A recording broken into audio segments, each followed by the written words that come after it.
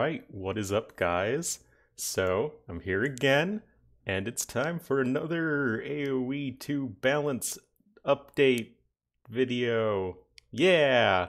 So, patch is going to be December of 2019. Um, as of me recording this, the patch has not gone live yet, um, but I do know all the changes, and I'll post this as soon as it goes live. Um, so, let's. Uh, get into it. I'll go through the changes and, of course, give my analysis for what it's worth on all of them and talk about how it will impact the meta and stuff. So, uh, yeah, let me go over to DE. All right, so uh, getting right into this, balance change number one is a little quality of life thing. Uh, they're going to fix the line of sight on all of the herdables, which I have here. Um, so it's going to be two for um, all of the 100 food herdables. So that is going to be what the sheep is right now and what you are used to. So I guess um, looks like the turkey's a little bit bigger. I should probably have grid bot on, but oh well. Uh, but that's definitely a little bit of a nerf to the goat and goose. And it's going to be three for the 150 food herdables, which are uh, these guys. So that should be three line of sight, so that should all be like the water buffalo. So it's a little buff to uh, our bovine friends, the cows. So little change, but you know, I like the consistency. All right, now we're getting into the good stuff, the stuff you guys are definitely looking for. So, uh, more general changes, but this is to the Steppe Lancer, everyone's favorite unit to hate. So this these guys are getting hit with the nerf bat hard. So their cost is being increased from 70 food 30 gold to 70 food and 45 gold. So that is a 50% gold increase to the unit. But wait, there's more. Their attack is going to be decreased by 2. You can see that's uh, 10 attack in the Castle Age and 12 attack in the Imperial Age, and both are being reduced by 2, so it's going to be 8 attack in the Castle Age and 10 attack in the Imperial Age. So there's the damage nerf. But wait, there's more. Their reload time is going to be uh, increased, I guess. The, the fire rate's slower. Uh, that, that's the important thing. So it, right now it's at 1.9, which is the same attack speed as a Hussar or a Paladin. Uh, of course, the game doesn't list those right now because that would be too easy. But yeah, uh, so right now it's a pretty fast attack speed. The default attack rate, guys, in the game is 2. That's the attack rate of, uh, you know, the archer line, the cav archer line, the swordsman line, um, scout cav, light cav, camels. You know, most units, like a plurality of units have an attack speed of 2 for reference. So normally they're a little bit faster. Uh, the Steppe Lancer used to be a little bit faster. Now it's going to be reduced, guys, to 2.3 that is really, really slow, guys. That is a slow attack speed. I, I, don't think there's anything in the game that has a 2.3 reload time right now, but for reference, War Wagons and uh, Elephant Archers, and I think Ballista Elephants too, have a reload time of 2.5. So it's a little bit faster than, say, a, a War Wagon for reference, but it's obviously a lot slower than what it is now. But guys, wait, there's more. The Steppe Lancer's uh, collision modifier increased from 0.5 to 1.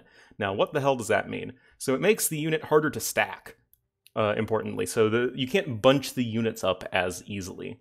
So, you know, all those uh, clips and videos you've seen of, you know, 5,000 Steppe Lancers piled on top of each other, all attacking simultaneously, uh, that's going to be a little bit harder to do now.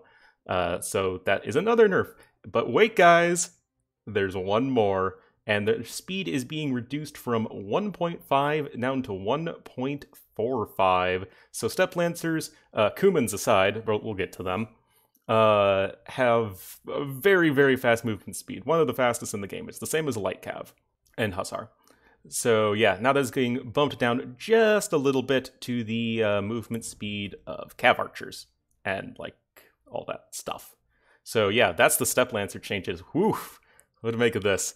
So these guys are getting hit uh, pretty hard with the Nerf bat. Will they still see play? I would have to imagine so. I mean, that stacking ability is just really, really insane. But I mean, obviously, you can't do it as well, and the unit is slower, more expensive, and weaker.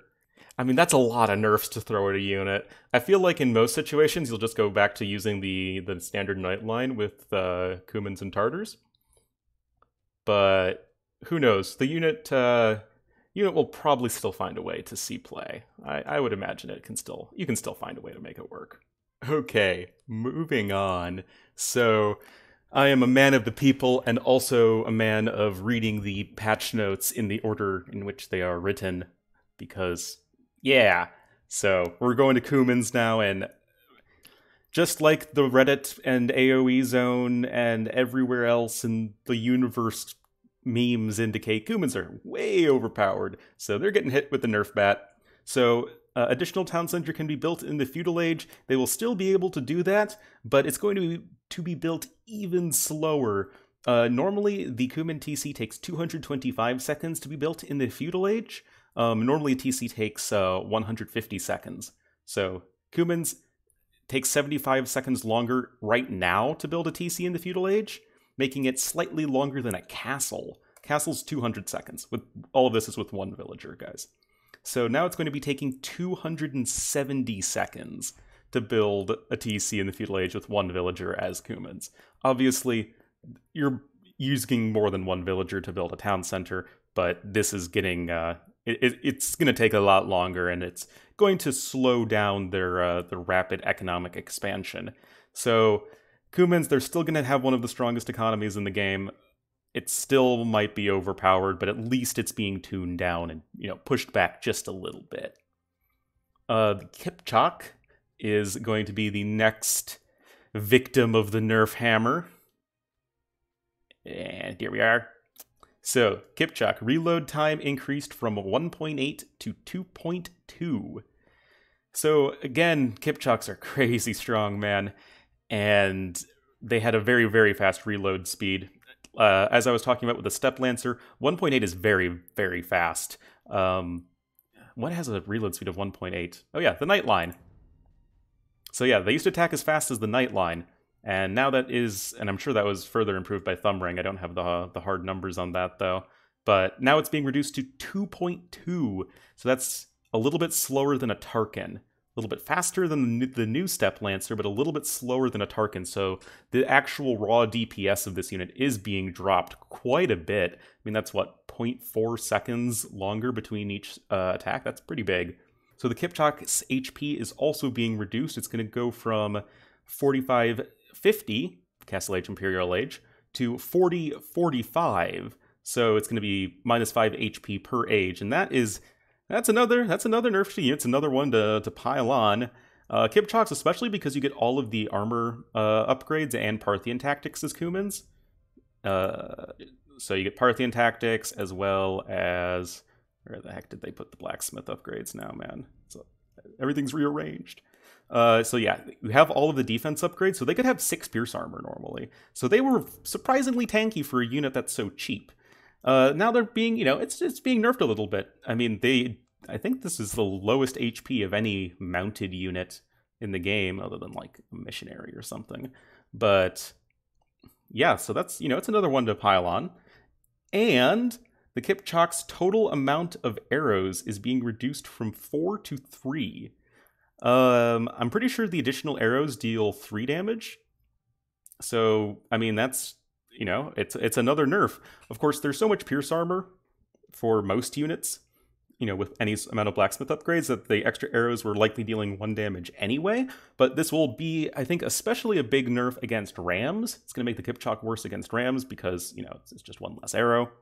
Um, mangonels and anything really uh, that has like you know high pierce armor and they were dealing one damage to anyway. I mean that's like uh, what twenty five percent decrease. That's how math works. Um, so yeah, the, the Kipchak's getting hit pretty hard. I still think it will be a good unit. I mean, it's it's really cheap. Sixty wood, thirty five gold is not an expensive unique unit. And their elite upgrade does it even say here? Yeah, it does. So it's one uh, 1100 food, 1000 wood. The fact that the elite upgrade doesn't cost gold is really nice it's still going to see play. It's still going to be a good unit, but it will be a little bit weaker for sure. And finally, for Cumans, we will have their uh, speed bonus being addressed, and that is currently they have cavalry plus 10% movement speed starting in the feudal age, and they have husbandry. So, yeah, they can have, they essentially get husbandry for free starting in the feudal age, and then they also get husbandry in the castle age. So that's why you see Cuman cavalry just zooming around everywhere like freaking Cobra cars. Uh, and that's getting be, going to be getting addressed. So, I mean, these two changes are kind of uh, in tandem. One, Cumans lose husbandry, so they no longer get the additional benefit of husbandry. And their speed bonus is now being staggered. So it's going to be 5% faster in the feudal age, so it's just going to be a little bit of an increase to their scout rush. Um, it's going to be 10% in Castle Age, so it's essentially the equivalent of them getting husbandry for free.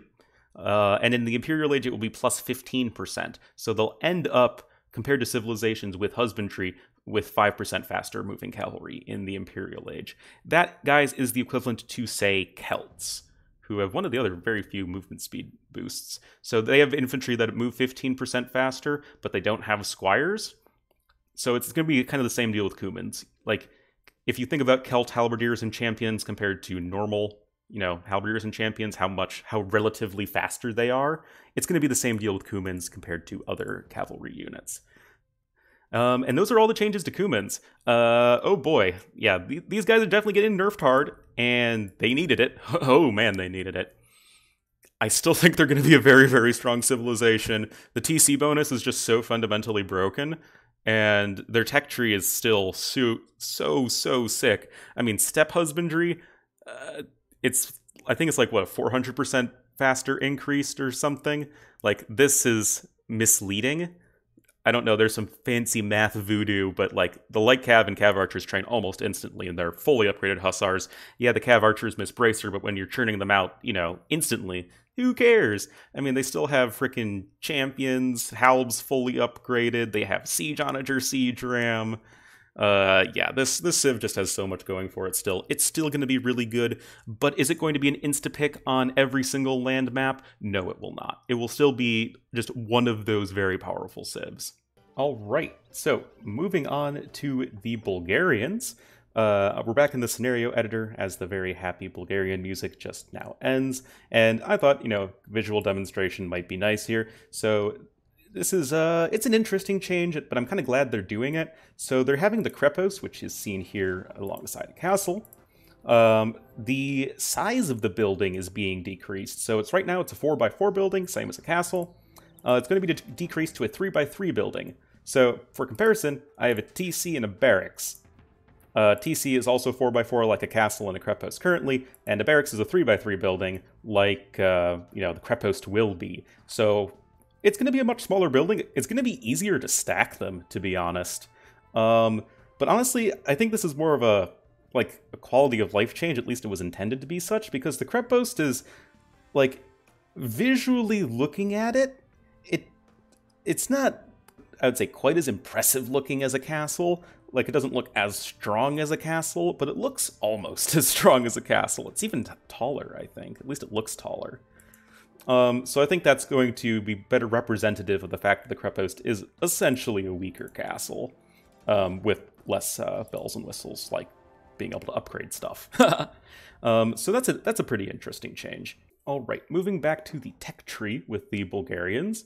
Um, they are getting some nerfs and buffs. So first up on the chopping block is the Konnik. So Konniks, guys, they're legit one of the single best units in the game, and it's only because Cumans are an even more overpowered civ that you're not just, you know, completely being drowned to death by Konniks every single game and every single map. They were just they're just insane at everything. They with uh, the stirrups tech, that make Light and Konniks attack 25% faster, they were attacking about as fast as Japanese samurai. And then they have all the other things Konniks have going for them, what with the uh, being better against pikemen uh, because of the dismount mechanic and all that stuff. So, what's happening to the Konnik? Their HP is being reduced from 110, 130, so 110 Castle Age, 130 Imperial Age, to 100 and 120. So, right now, they have essentially just plus 10 HP on the Knight line, so 110 HP right now for Konniks, and it's 100 for Knights, and then 120 HP for Cavaliers, 130 HP for Elite Konniks. Now, essentially, the Konniks are being bought, uh, brought back in line with the Knight line. So, a little bit of an HP nerf there. I mean, the unit really has no business being just like a straight up upgrade on the the Knight line anyway. And I have to say that Bulgarians possessing Paladin is like it's the least impressive fully upgraded paladin civ in the game in terms of like actually ever making their paladins just because you just make konniks in every situation. They're not that hard to field because of the krepost and uh, yeah. So their reload time getting uh, nerfed from 1.9 as it is right now same attack speed as a paladin as i've mentioned before. Now it's all the way down to 2.4 oh man that is a that is a hefty nerf. Uh, with stirrups, it's going to, I think, go back up to 1.9. That's, I think, how math works. I, I, I very well could be wrong. Okay, so after some brief calculator magic, um, the uh, the Konniks with stirrups um, from their uh, their new reload time nerf, uh, they're going to be attacking at 1.8 as opposed to uh, whatever madness it was before. So, all in all, your fully upgraded konniks are going to be attacking at the same rate as the Knight line. So it's now instead of stirrups honestly being like a buff to the konnik, it's like you need to get stirrups for them to attack as fast as a generic cavalry unit. And this applies, guys, to both the mounted and dismounted versions of the unit, in case you're wondering. Um, so yeah, Konnik's getting nerfed hard but it needed to because it's absolutely silly strong. But Bulgarians are getting a buff to compensate. In my opinion, Bulgarians really suffered from the Konnik being so incredibly strong. I mean, just in general, their gameplay of men at arms with the free men at arm upgrade into Kreposts and Konnik spam, like that was way too strong, but everything else about the Civ was really way too underwhelming. So the uh, the Bagains tech militia line gains plus three armor that is now getting buffed up to plus five armor.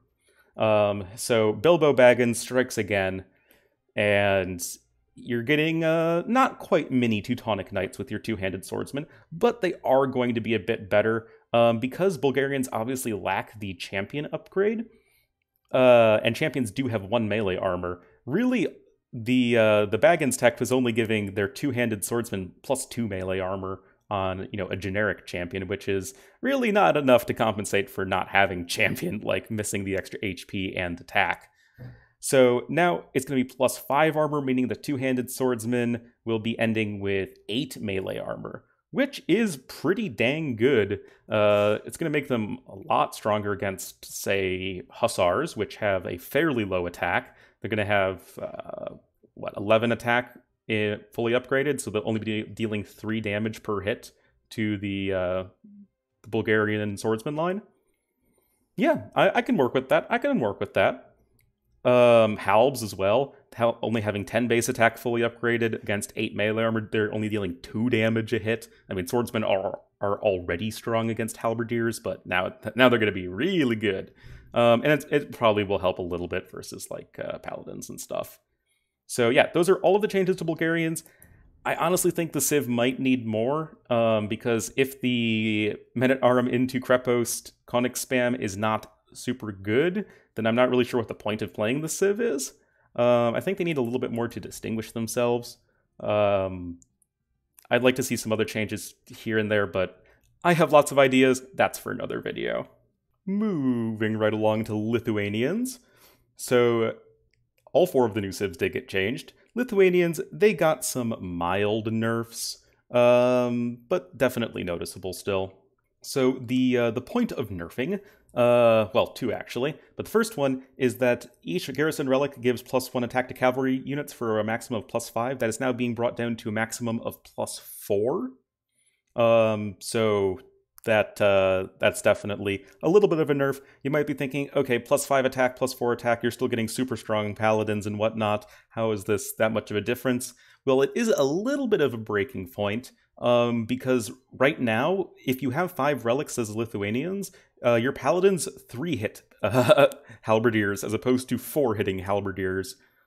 Uh, you know, it's just that uh, that exact break point in damage. So now they're going to be killing halberdiers in one more hit um, which is definitely, I think, uh, a good thing.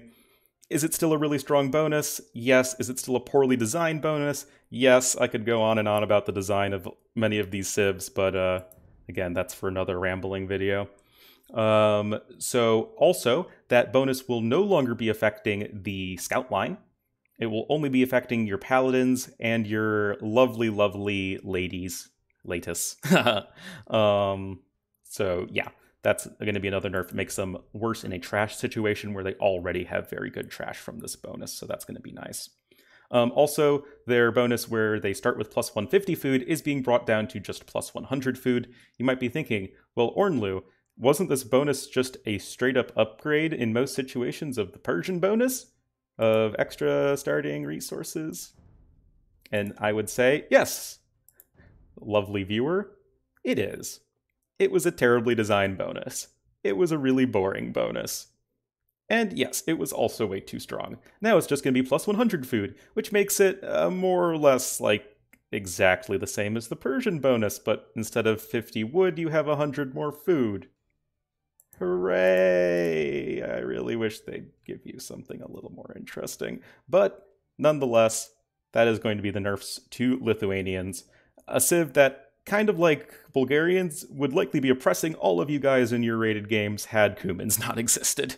Going now to Mayans, the Civ that thought it could never be touched because it didn't get nerfed when NII came out, even though they were obviously one of the strongest Civs.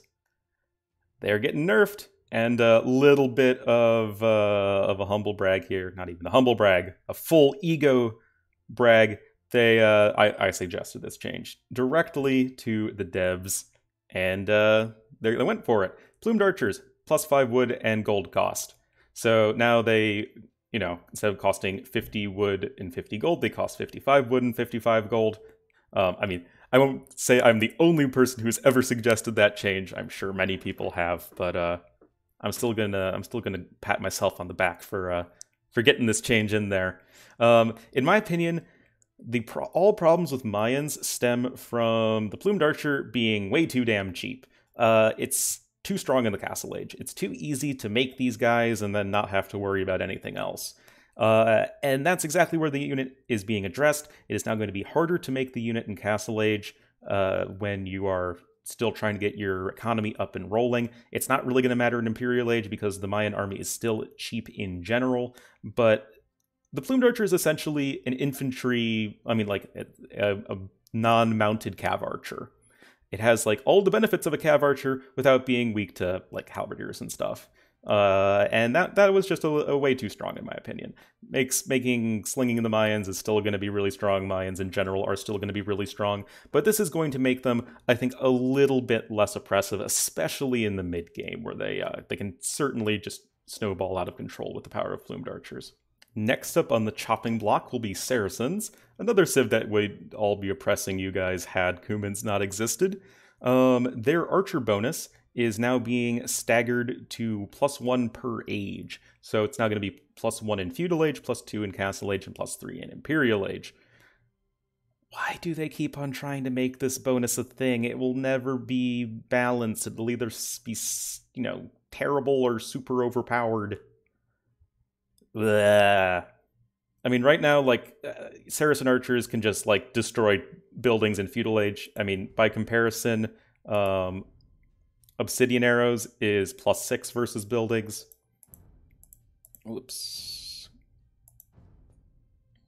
Isn't this plus two attack versus buildings? I'm pretty sure it's like plus five in total. I'm pretty sure this is like wrong or something. I seem to remember this being plus two. I don't know even if it is plus four, you're still getting two thirds of or yeah, two thirds of obsidian arrows for free from the feudal age, and that that's just way too strong. However, Saracens as a civilization are going to be like back to being terrible. They went from their brief moment in the limelight in S tier on my Arabia tier list back to likely being delegated to C tier or something. Um, I would love to see a bonus where that actually, you know, buffs their camels in some way. Um, my personal favorite being plus 10 HP to camels, and then making zealotry plus 20. Um, so it's like they end up with 170 HP still, but ha- they get plus 10 extra HP in Castle Age. I think that would be a nice little change for them. But again, not the purpose of this video. Sorry for the uh, the suggestion rambling. And finally, guys, last but not least, we have the Tartars. They are getting not so much a nerf as a redesign. Um, not completely, mostly, and entirely focused at the Keshik unit. And again, I'm going to take a little bit of credit for these changes um, because it's something that I have written about at length to them. Uh, I think I even made a post on the official forums. I stooped so low uh, way back in beta. Um, I think the Keshik is a really boring unit right now. Uh, it just gives you a little bit of a gold discount, but like it's a very expensive unit in the gold cost. It's 80 gold. So like the fact that it generates gold is really it's just like okay, you're getting a, a bit of a discount on the, the unit in most situations. So in my opinion, oh yeah, also the, the Keshik is essentially a, a stand-in for paladins. Like yeah, it's a little bit weaker than a paladin in terms of HP and melee armor, but it's more or less like a paladin for a civ that shouldn't really have a paladin like unit. Um, so, my opinion, this unit should have and is being redesigned as a medium cavalry unit, much like the uh, Tarkan for Huns, where it's going to be not as strong, but it is going to be a lot cheaper, and I think it will better fulfill that role of raiding. So, what changes are being made? Cost is reduced from 50 food 80 gold to 50 food 40 gold. That's right, the gold cost of this unit was slashed in half. Next, the HP is being increased by 10, so it's going to be from 100 to 110 and 130 to 140. That will mean they will have 130 HP in the feudal age, something that only or feudal age, castle age, um, something right now only the Konnik can you know boast of, uh, and of course that's getting nerfed. So yes, for like a normal cavalry unit, it's going to have really good HP in the Castle Age, and an Imperial Age, it's going to end up with 160 HP, which is uh, 10 less than a Tarkan, uh, 20 less than a Paladin with Bloodlines, same as a Paladin without Bloodlines. But it's still going to be a you know nice tanky unit, um, especially with that three pierce armor, super nice. Of course, um, with all of these buffs must come an attack nerf, otherwise the unit would be way overpowered. And its attack goes from 12 to 14, or 12 and 14, uh, down to 9 and 11. So 9 attack in the Castle Age, 11 attack in the Imperial Age, and this sort of cements it as more of a medium cavalry unit. It's not a stand in for Paladin or Cavalier in the case of Tartars and it's going to be much more designed around that raiding aspect, anti-archer aspect, kind of like the Tarkan. And honestly, this unit is pretty similar to the Tarkan. Um, it's going to be a little bit better in the Castle Age. I think, like for sure, it's totally better in the Castle Age. Um, Imperial Age, they don't have the same pierce armor. they have one less pierce armor than Tarkans, but uh, to compensate, uh, they have, I think, still a faster attack speed, um, and they have the gold generation uh, opportunity, uh, which you know you want from a raiding unit. Uh, you want to be you know running around killing villagers, or if you're in like little skirmishes, uh, to be getting some some value there, getting some of that juicy juicy value. Uh, so I, I am a big fan of this redesign. Um, like I didn't. I, I can't say that I suggested those exact specific changes, but I think the whole conceptual thing, uh, it's definitely something I've been a big fan of for a while. And uh, that's all Tartars are being changed. I think they are the best designed of the new civs. So that is it, guys. Those are all of the changes coming in this December 2019 patch. Um, I'll be posting this when the you know the, the, the patch goes live sometime this week. And uh, I guess just for some closing thoughts, the big losers in this patch are three of the four new civs: uh, number one, Lithuanians two, uh, Bulgarians 3. So, in addition to the three new civs, Mayans will receive a little bit of a nerf. They're still going to be perfectly strong and powerful, don't worry about that. But they're definitely going to be a little bit weaker. Uh, and Saracens are probably going to be uh, thrown back into the trash bin of civilizations, unfortunately. Uh, yeah, they're probably not going to be all that impressive now, which is a little bit unfortunate. Uh, but they're too strong now. They're probably going to be too weak, and uh, we want to find somewhere in the middle, I think. But I think most importantly, Cumans and Steppe Lancers are getting nerfed. Those were by far the most oppressive things in the game. With those being toned down a little bit, some of the other problematic aspects of the new civs being toned down. Um, I uh, I'm liking the direction balance wise of of this patch. I agree with most of the changes. and uh, that that's usually a good sign, at least at least in my opinion. Uh, so yeah, that's gonna be it, guys. Uh, do leave a like if you enjoyed, and follow, and whatever you do on YouTube. And yeah, see you guys next time. Perfect outro.